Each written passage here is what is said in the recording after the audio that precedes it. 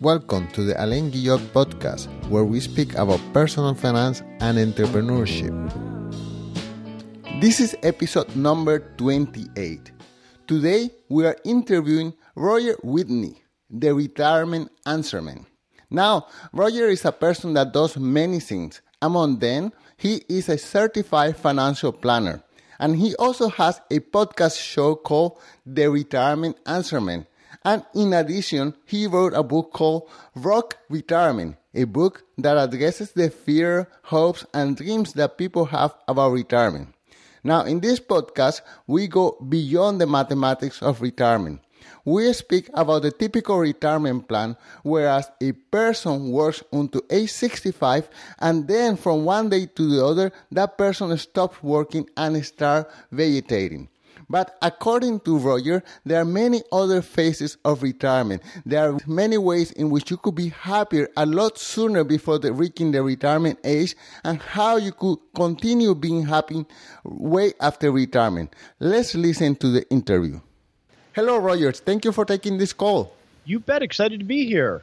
Okay, Roger, listen, I first heard about you when I was listening to a podcast of Afford Anything by Paula Pants and in what it seems to be a friendly debate. And then you say something like, it went like this I don't believe in early retirement. And I would like to get back to you, back to that in a minute. But before we get started, I wonder if you could tell us a little bit about you, your background story. Where do you get your superpowers and how do you get in financial planning? And the most important thing, what are all those letters behind your name? uh, well, my background is I'm about 51 and I started as a financial advisor in 1991, uh, right at the beginning of the great tech boom. And I don't know if I have any superpowers or not, but whatever wisdom I've gotten over 27 plus years has come from mainly screwing it up a lot and hopefully learning lessons and evolving as I've gotten older. That's one of the advantages of getting older is that you get some perspective and hopefully have some wisdom. So this is all I've ever done. Wow. As far as those letters, so that was part of my evolution. So in the early days, I traded technology stocks because that's a lot of what you did in the mid 90s because it was so easy. And did, I didn't know any better. And getting those letters was part of becoming, I call it classically trained as a financial planner and advisor. So if you want me to go through them real quick, I can, but they're all fairly difficult certifications. And I just went through them to slowly learn the the fundamentals of the craft, so I could learn how what, what which ones work well and which ones I think uh, are a little antiquated. Okay, uh, listen. In 1991 is when I first began when I first got interested in stocks. And, you know, I didn't know anything about it. I was just watching TV and I was looking at stock charts and I was seeing all these stocks, you know, going up without end. And I said, wow, I can get rich. And I bought some stocks myself. And that was the first slap in the face that I got because uh, sure after, of course, all these stocks that when I bought, I think uh, something called Cisco System, and I was gonna retire in five years because the way that it was going up, it's just you couldn't lose, and then it lost, of course, and that was also uh, my first painful lesson into the stock market. And then from there, I started reading and I started uh, seeing how things really work. So, yeah, that was a humbling experience. It, yeah, it can be, depending on when you got in, because at the time, most things just went up. And if you were brave enough just to keep investing and betting on they would go up, you did well. And it was interesting during that time frame as an advisor, especially a newer advisor, it felt pretty easy right? Because everything went up. It was sort of easy to make money. And clients around that time were making decisions like on retirement or whether to buy that brand new house or things like that based on the assumption that this, the same kind of returns they got during that big internet boom were going to continue. Okay, so now let me ask you this. How is it that you became specialized on retirement? Because I went to the website and that's all, or basically all you do. You talk about retirement, you are called the retirement answerman, and out of the whole spectrum of things that we can do as financial advisor, why do you pick this field? Well, there's a there's a couple layers to that. One is it's the majority of my clients are in that stage of life. Two is as I've matured and my business has matured, you know, when you're not as worried about eating as much as about uh, you know being all that you can be from a life perspective. Retirement, it's I've decided to focus there. So I only work with clients over 50 that are either working on that transition in the middle of it or trying to live out after the transition. And the reason I focus there is because they're all dealing with the same issues. And there's wisdom that can be gained by specializing. You know, if you think if you go to a doctor, a general practitioner sort of does everything, right? But when it gets beyond the basics, they usually refer to a specialist. And the reason they do that is because the specialist, one, he deals with, say, stomach issues, right? That's all he deals with or she deals with all day long is stomach issues. So they're an expert in that area. And they've done so much work there that they've seen the good, the bad, the ugly, and everything else. So there's a lot of wisdom there. Where it's the same thing, I think, when you're working with a financial advisor is I didn't want to be a general practitioner, which I had been. And I was old enough and mature enough to know, okay, where I think my sweet spots are. And so I decided I'm just going to be the specialist in this area because there's going to be so much wisdom of working with so many people dealing with all the same problems. So that's uh, it was an evolution. It didn't happen overnight. Okay, so as far as I know, at one time in history, people used to work for a particular company, let's say IBM or whatever company you want to mention, and you will work for that company for 40 years, and then after that time period, you would get a pension and you wouldn't have to think anything at all about retirement. I mean, that's something that the company did, and you will just get your check. You you will get your golden pen at the end of uh, when you arrive 65, and you will start getting your pension. Can you give us yes an idea of how things have changed since those old time? Well, there are definitely people that have those pensions, but I think the key difference is, I talk about it in my book, is that you know that's the last generation's version of retirement you know, so take my grandfather. He was in in the in the World War II and and worked as in manufacturing and then worked for the post office. When he retired in 1980, he lived, you know, he's about 60, 62 years old. They moved to Florida. They lived about 10 years and then he passed away. And during that 10 years of quote unquote retirement, he was pretty relaxed. He was his body was worn out from, you know, a, a harder life and he was happy just to relax and have a small house and uh, read books and have you know visits from family. Today, the more the modern retiree is very different than that.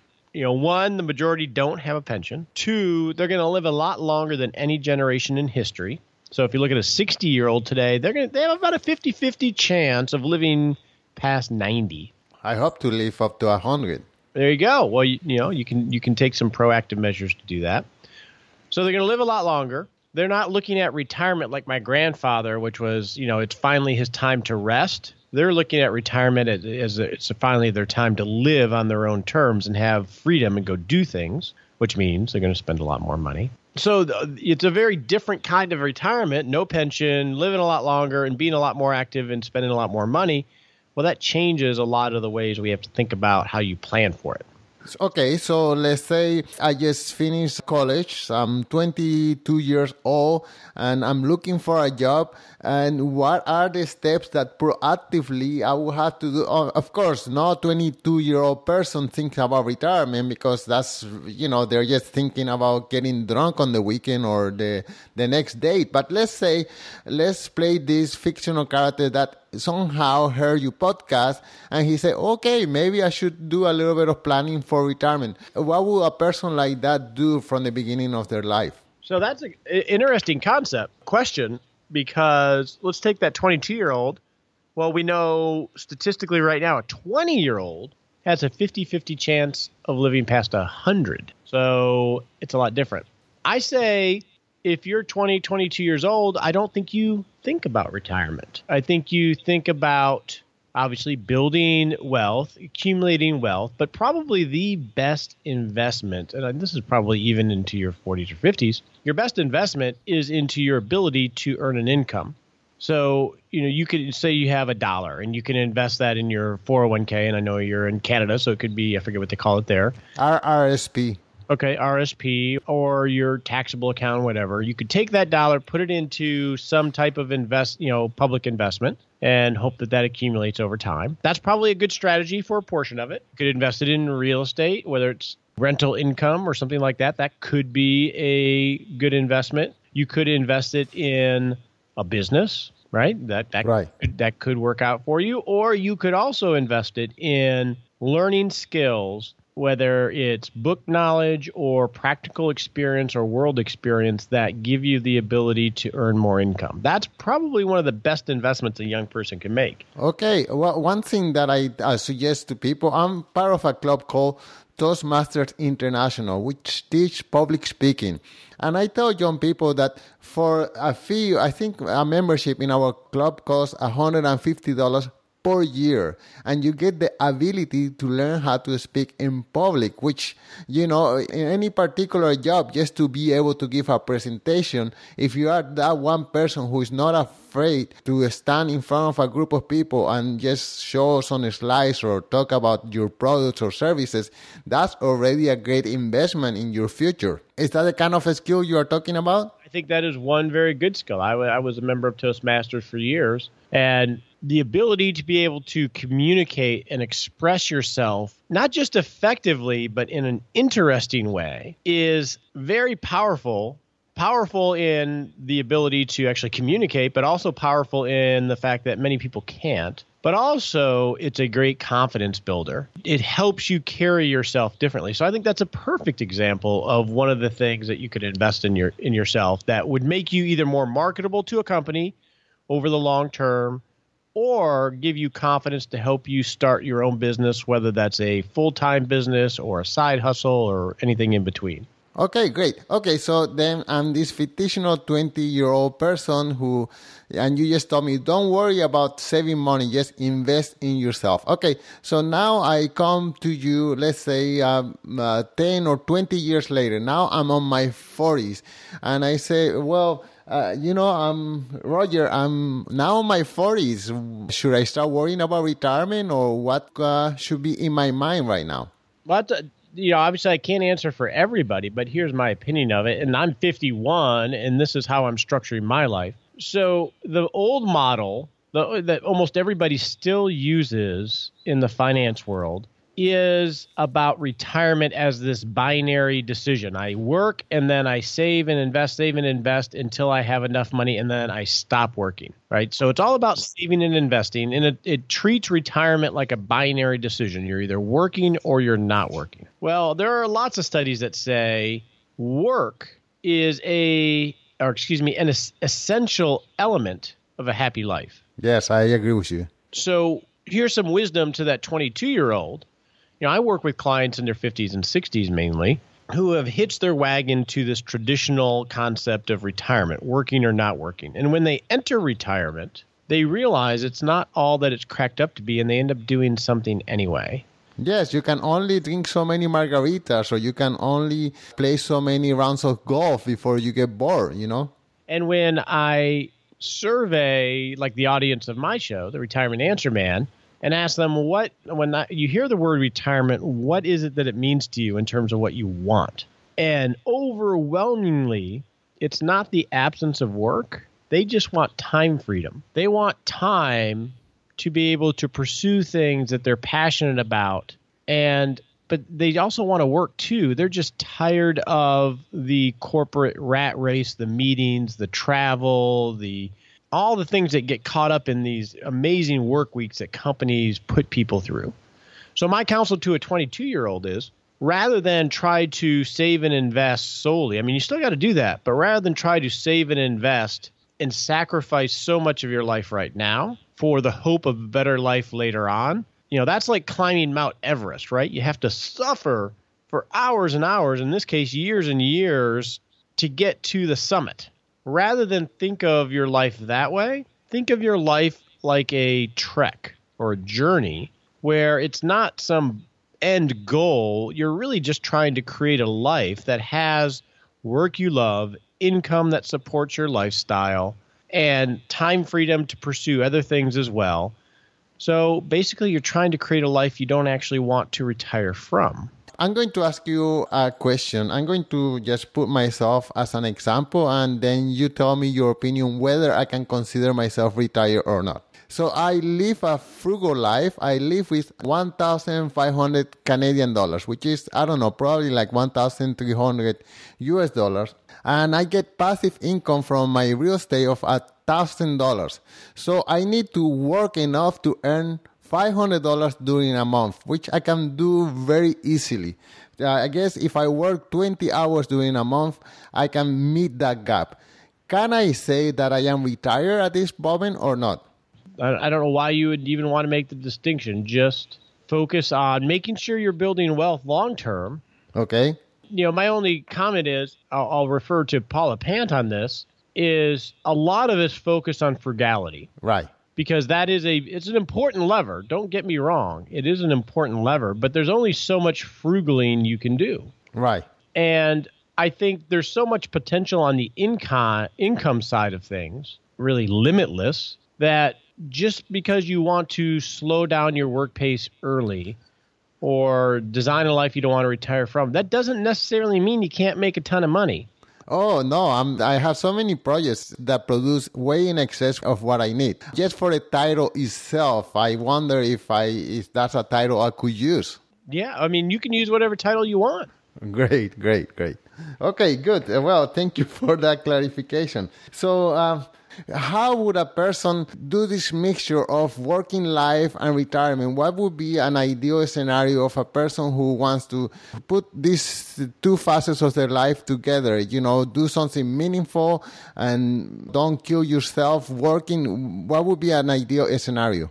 Well, I think it's something that uh, you have to develop on your own because everybody has their own version of it. Right now, I'm living my version of it, but I'm working probably as hard or harder than I've ever worked. I just don't feel like it's work. So I'm not, you know, what I'm doing, it may, you know, maybe something that somebody else would say that's just way much, way too crazy.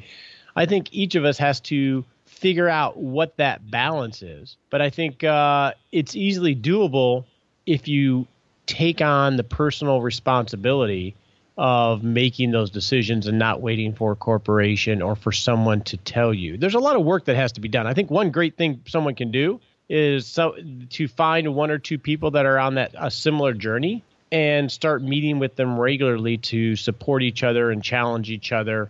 That can be very powerful because it's definitely a different way of thinking. Well, I agree with you. Yeah, I haven't had a regular job in maybe 10 years, and I try to focus only on things that I like. And I find myself that I work so much harder because I am enjoying what I'm doing. And, you know, it, it just, it took a little bit of, no, I took honestly a lot of courage to let go of things that have the resemblance to be a steady income and just to go on on my own and do you know I hustle here and I hustle there but I hustle on things that I enjoy doing so they don't really seem like work. But at the same time because I enjoy doing them I work so hard at them that is and it's a rewarding feeling. One of the things that I have been doing I have been a dance teacher for over 10 years and I only work with people that I like working with if I don't like someone, I just say, sorry, I'm not available. And that's it. And to have that feeling of dancing and getting paid for it, it's just every time a client leave my studio, I say, God, I'm so happy to be able to just do what I just did. And in addition to that, get paid for it. So there's a great book too to read that I would recommend to anyone that's thinking about this journey. And it was a pivotal book in my life.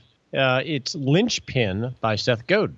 Okay. Then he basically talks about this difference between corporate work, education system, and how to inoculate yourself against a lot of the technology trends and the race to the bottom. And he basically says, you know, become an artist because whatever you do, it could be sweeping the floor. You have your own unique specialness that you bring to anything and most of us suppress that to conform. And he suggests the opposite of leaning into it because that's the one thing that no one's ever going to be able to duplicate or outsource.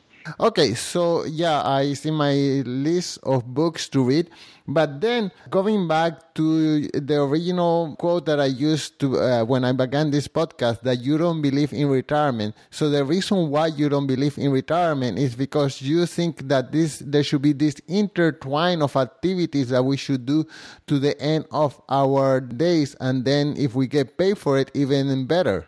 I think that I think that that's a good summary. I would the only caveat I would put to that is I have clients that want the traditional retirement. And there's nothing wrong with that. I think the key is we're all put on this earth to build the best life that we can and and that can take on religious connotations, it could take on a lot of different connotations to be the best version of us.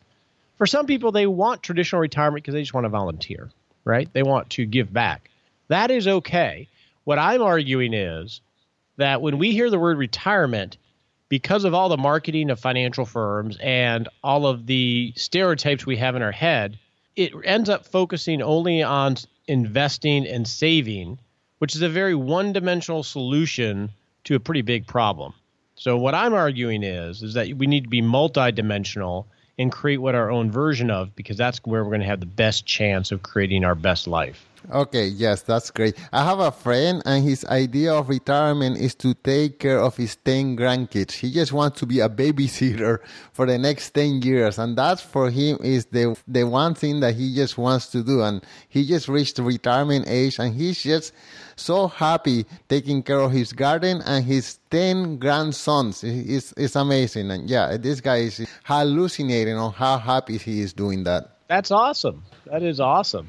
Okay, so let me ask you. A minute ago, you mentioned something about your book. Can you tell us, uh, first of all, what inspired you to write that book? What was the writing process, and what can we find in that book? Well, the inspiration of the book was a drive from my podcast, which I've done for four years. It's you know presents a lot of the messages and the the process that I use in my practice in a very organized way. So that was the drive to write it is that you know I never I never had a personal dream of writing a book, but I do have a personal dream of helping people not miss the only life they have. And this book is an important tool in that, I think. In, in terms of the writing process, you know, basically it sucked for me. I am I'm a good writer, but I'm not a great writer, and I'm not someone that enjoys writing in that form. I like to talk. I like to think out loud. I like to do my podcast. I like to public speak. So it was difficult from that perspective because I'm much more of an auditory thinker, but I did it because it served a, a greater purpose. Fantastic. And what can we expect to find in your book? I see the uh, the table of contents, but uh, the listeners don't know what's in there. Well, I, the book outlined a lot of what we've talked about. Is what's wrong with the current system? What premises you need to rethink about? how you're managing your financial and structure in your life, and then the process that you should use to start walking that journey to creating a life that's not just simply tied to saving and investing. And it, I think it's a fun book. It's not, you know, there are a lot of technical financial books out there that tell you how to do an IRA rollover and just all this technical stuff. My book, and I wrote it this way purposely, is meant to be a wisdom book, which is a very easy read. Okay, great. I'm looking forward to sharing that information with the listeners. Uh, well, you you said that the book was an inspiration from your podcast.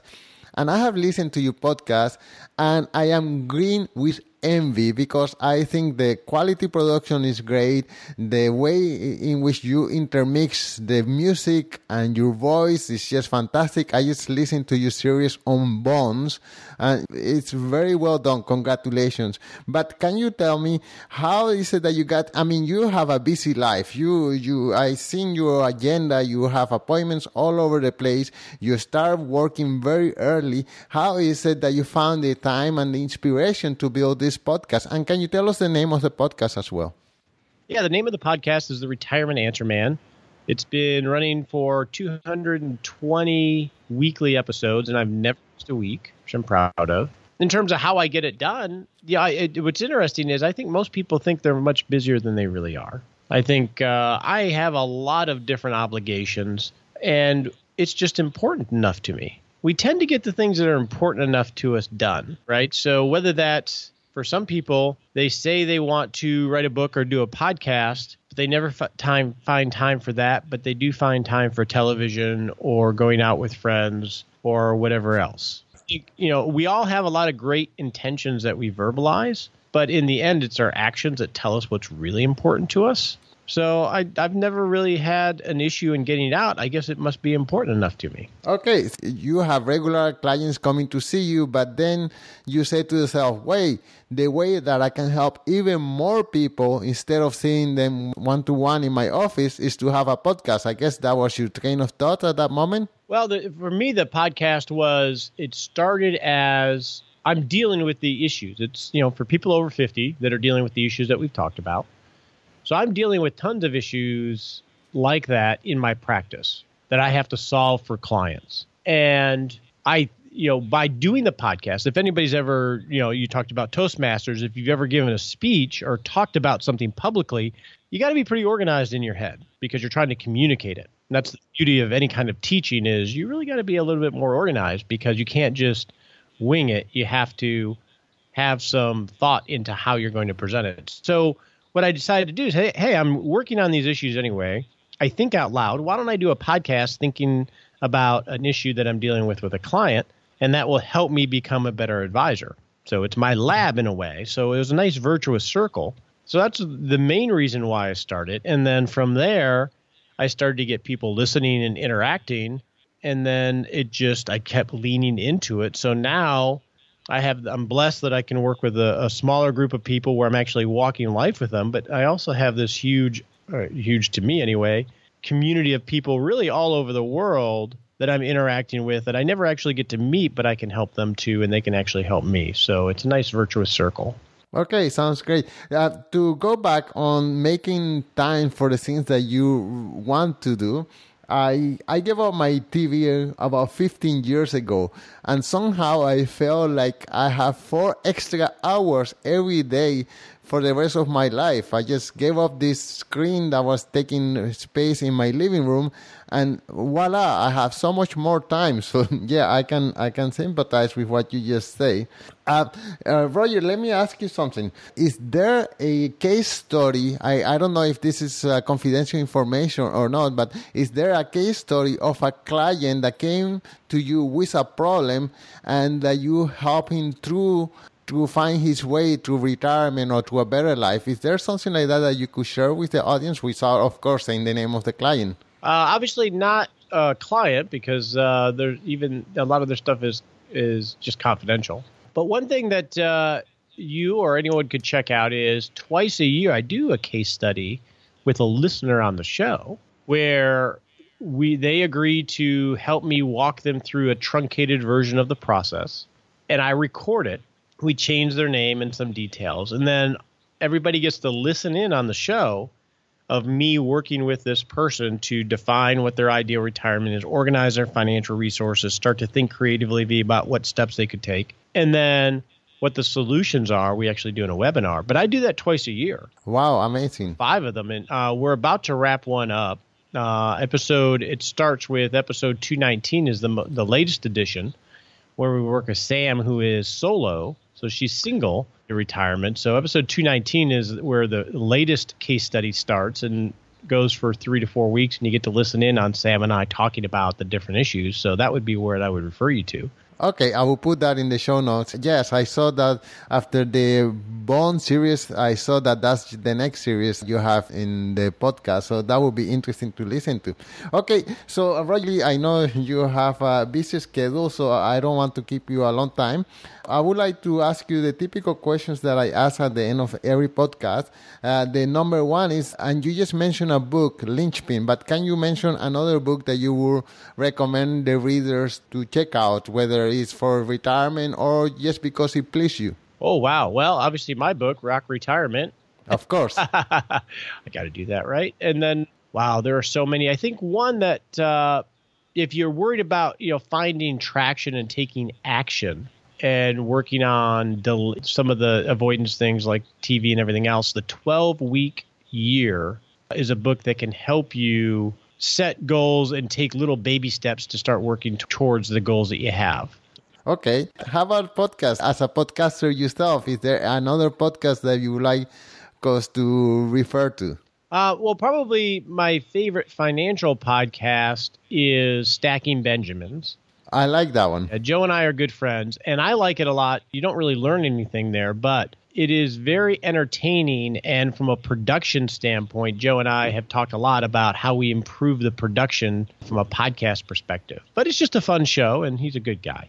Okay, well, is there anything that I could have asked you that I neglected to ask you? Oh, I don't know, but I think it was a great discussion of how we can rethink some of the things that we operate under so we can put a little less pressure on ourselves. You know, not just trying to create a great tomorrow, but making sure we're taking making the most of today.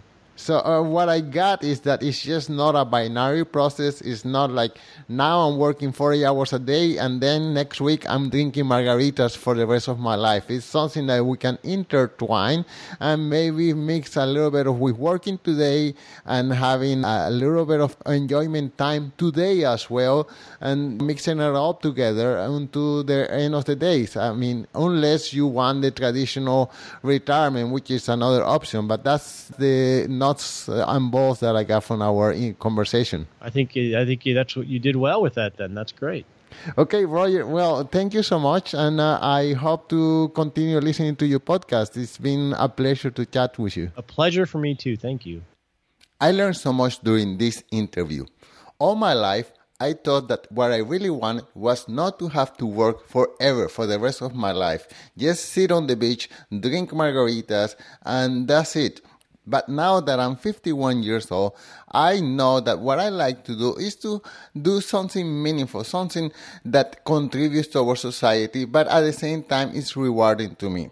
At the same time, I have been selling the idea to others that retirement is mostly about accumulating money into your bank account and then yes, experiencing that retirement life of just doing nothing. And now, um, reflecting about it, I think that that idea is being pushed to us or in the financial advisor industry because you know when i was a financial advisor my job was to sell products. My job was to sell high fee mutual funds and bonds and insurance and that was a financial advisor. So this is what we were tend to believe that the career of being a financial advisor is.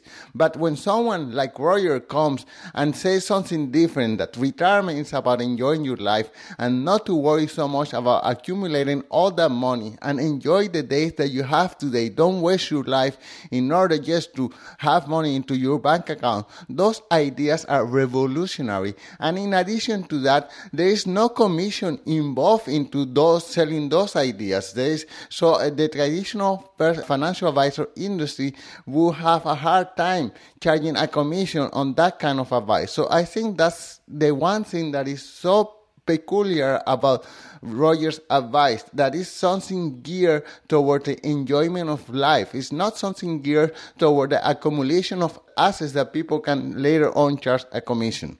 So what I really learned from this interview is that in order to be happy, in order to be a successful person in retirement, number one, we have to find work that we love and that is meaningful to us. And of course, that work has to have enough income to support our lifestyle and finally to have time and freedom to do other things. All my life, as I said, I thought that retirement was just that, accumulating $1 million or more and see my bank account grow. But as I reflect, it's more than that. As I'm into my 50s, I know for sure that I just don't want to sit in my couch and watch Netflix. I want to be active. I want to do things. And if I can do things and at the same time get paid for them, even the better. But that's the ideal retirement. Be active, have active life that can sustain your lifestyle. And for you, for the audience, well, I challenge you to consider these ideas, to consider maybe finding a way to marry the things that you like to do with some income. And that way you can work for the rest of your life and you can enjoy what you're doing. I found this quote in the internet that goes like this Find a job that you enjoy doing, and you will never have to work a day in your life. One more time, Roger, thank you for your insight. Thank you for opening my eyes, and thank you for sharing your ideas with my audience. Now, before we close, I would like to talk to you about a side hustle that I did for many years. Actually, I did this side hustle for about five years. Well, for about five years, I was an Airbnb host. At one time, I had three properties that I was managing and renting through Airbnb. And my girlfriend at the time, she had two properties. So between the two of us, we had five properties. And these five properties produced enough cash flow that we were able to buy. Well, I have now a rental property that allows me to sustain my lifestyle. It gives me rental income every month. And yes, it makes my life so easier. So if you were thinking about a side hustle, a way to earn money on the side, I propose this idea, Airbnb. I propose it to all my friends. I've been promoting it. So, and well, and this is the thing. If you go and do it through my website, if you go to my website and search for the Airbnb logo, and through there you become a host, well, you will be contributing towards the production of this podcast, the production of the website, etc., etc. And if you need some guidance on how to become a host, an Airbnb host, I don't mind if you send me an email. I'll be happy to answer to you. On the other hand, if you are a traveler, well, there's nothing less expensive eh, that give you the environment, the real feel of traveling than staying in an Airbnb property as opposed to staying in a hotel. It's a lot cheaper and you really feel like you are living there like the locals. And if you do it through the link in our website, alainguillot.com, right away from the time that you book that first apartment or house or room or whatever, you will get a discount. Usually is around $25. Sometimes it goes up to 50. Changes all the time, so I cannot tell you a precise number, but if you do it through the website, you will receive a deduction right away. One more time, guys, thank you so much for listening to this podcast, and I will talk to you next week. Thank you for listening to one more episode of the Alain Guillot podcast. For more information, please visit the website alainguillot.com. And if you haven't done so, please subscribe to the podcast. On to.